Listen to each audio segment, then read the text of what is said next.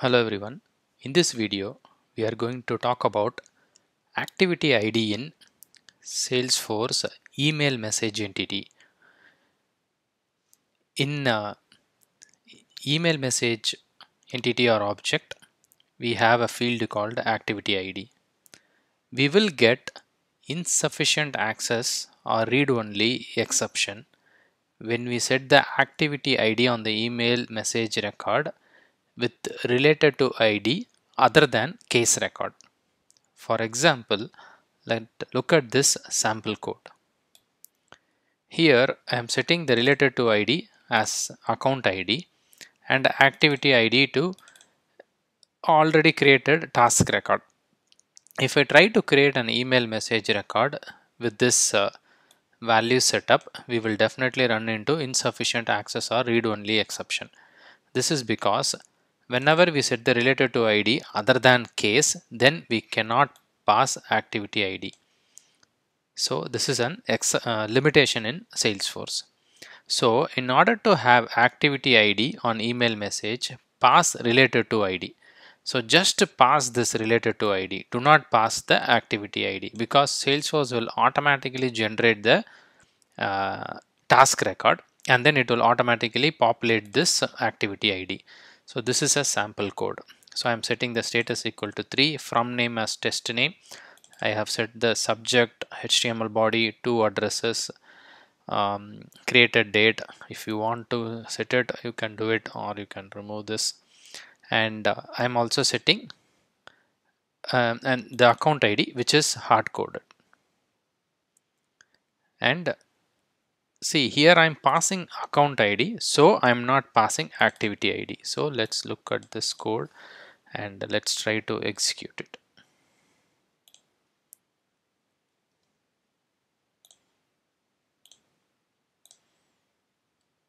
So good. So before I execute I'm going to see whether I have any email message records. I don't have any email message records. So let's execute it yeah definitely it created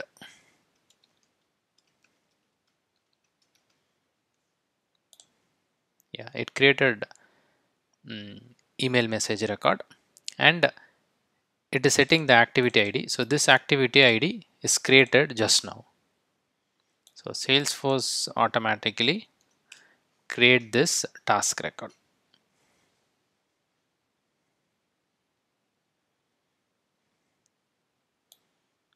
salesforce automatically uh, create it so make sure you are not passing activity id whenever you are setting the related to id other than case record. For case record one of the biggest advantages you can set this.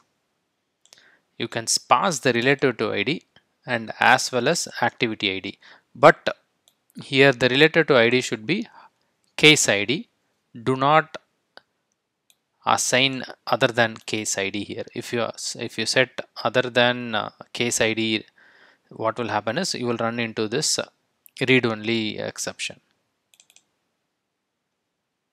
Okay. So let's test this code.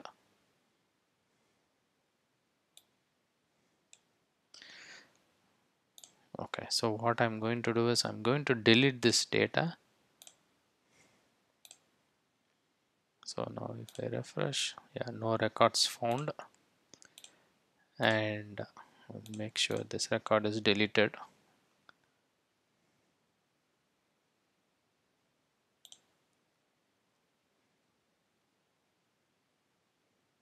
Yeah the task also got deleted.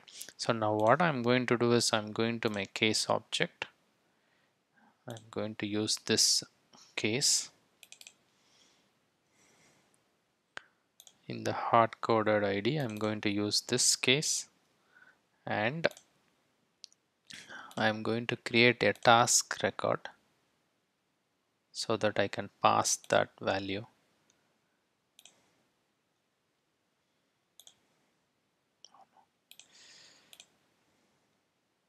Okay so let me delete this also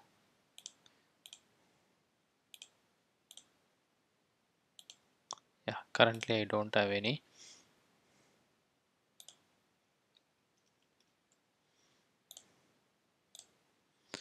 So this is one task record. I'm going to use it.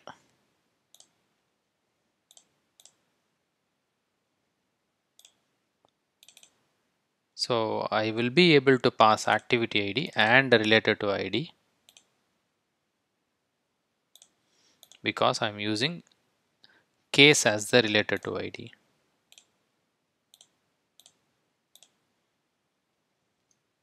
so I'm going to execute it.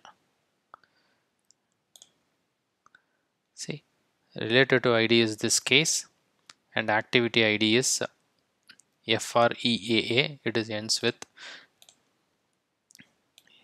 freaa and it would have not created any task record.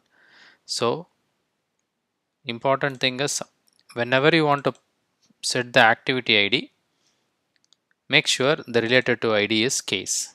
And one more important thing is whenever you set the related to id other than case do not pass the activity id if you do so you will run into insufficient access or read-only exception from salesforce. I hope it was helpful